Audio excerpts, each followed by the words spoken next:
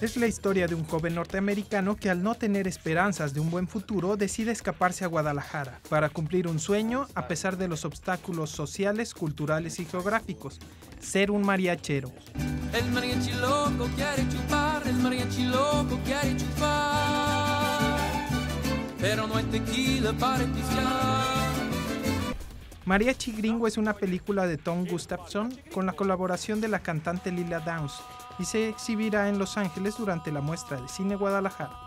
Será la función de gala durante la inauguración de la muestra el viernes 12 de octubre y también se exhibirá el sábado 13 y domingo 14 en el Teatro 17 del complejo AMC de los Estudios Universal.